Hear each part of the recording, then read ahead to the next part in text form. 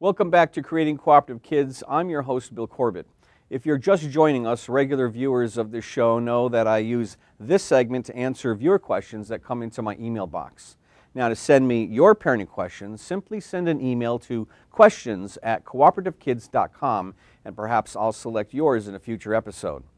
In the question for today's show, the parent writes, My seven year old son has been kicked off of the school bus for flashing the middle finger.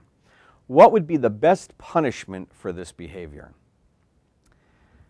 The parent comes to me and asks me a question like this because they're at wit's end. Probably what happened with this parent, the school said, if it happens again, your kid's going to be walking to school. And the assumption is this parent probably gives their ch child a, a ride to school if they can't take the bus. The first thing that I tell parents in a situation like this, whenever they get a report from school that your child is doing this, what makes it difficult is we cannot, as parents, control what goes on in the school environment. In fact, some behaviors are often seen in a school environment or a school bus and they're not seen at home because it's, it's, the surroundings are conducive for creating that behavior. So it can be very stressful for parents. But you can do things about situations that do happen outside of your control, especially in a situation like this. So one of the first things that I told the parent in this situation is that it, it, you've got to sit down with a child and help them explain or, or explain to them and help them understand that this behavior is not okay. But we can't get angry with the child because if you get angry, then you're going to ruin the communication channels.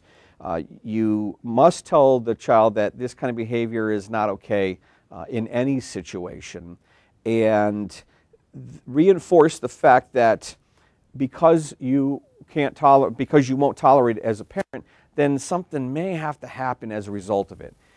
It's more important than ever to make sure that we manage our emotions when we're talking to our child about the situation. So we're going to assume for this situation that the child was kicked off of the bus. Now the parent does have a situation they can do something about. Now the parent has to give a child the ride to school and pick them up for probably, I'm guessing, what a school might do, maybe a week or two that the child is banned from, from the school bus. That the parent can do something about. Now the, the parent has something tangible that they can discuss with the child and say, look, because of what you did on the school bus, now I have to go into work late and I now have to spend gas and time to give you a ride. Therefore, there's going to be a consequence for the next two weeks. And what you can do about that is because you're now inconvenienced, things that you might have done with that time, the child might have to take over. So, as a very respectful consequence, some chores or tasks that the child, especially, it's even better if the child doesn't like them, that the, that the child would have to take these things over as a result of their behavior with the school bus incident. That in itself will send a very clear message to the child that there's a consequence tied to your behavior. And, and, I'm always talking to parents about consequences. What makes them very effective is that the consequence has to be tied directly to the behavior. So let's step back for a minute. The child is flashing the middle finger to friends on the school bus you know what, you really can't apply a consequence to that. You can tell the child that that kind of behavior is not okay. But now that you've got something tangible with having to give the child a ride, you can do something about that. Keep that in mind whenever you use consequences with children. Rule number one is you remain calm and respectful with the child. And then you clearly identify your issues with it and you've got to narrow it down to something specific. So in the situation with uh, these parents and their question to me, that the child would now have to take on some chores.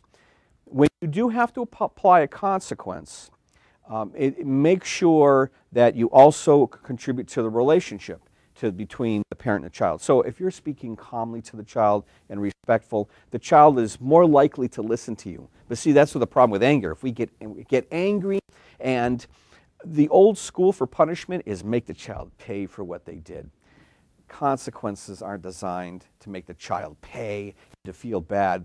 It's, they're actually designed to make the child take responsibility. It's a lesson. It's an opportunity for a life lesson.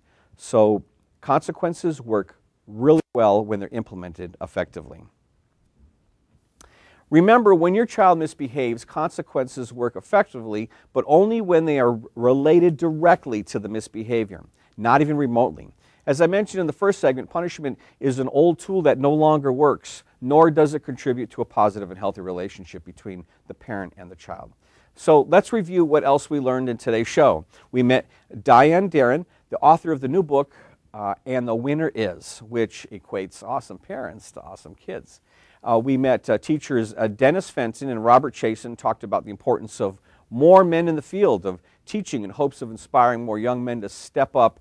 And then we also met elite life coach Bernadette Bolton, who offered tips for parents on how to de stress, realign their life goals for greater happiness. Join me for future episodes of this program as I offer more tools to help you rebuild your discipline toolbox as an awesome parent or teacher. If you'd like to get this program in your local viewing area, contact my office to find out how. See, making the world a better place to live begins at home as engaged, encouraged, and masterful parents. I'm Bill Corbett, and I'll see you the next time on Creating Cooperative Kids.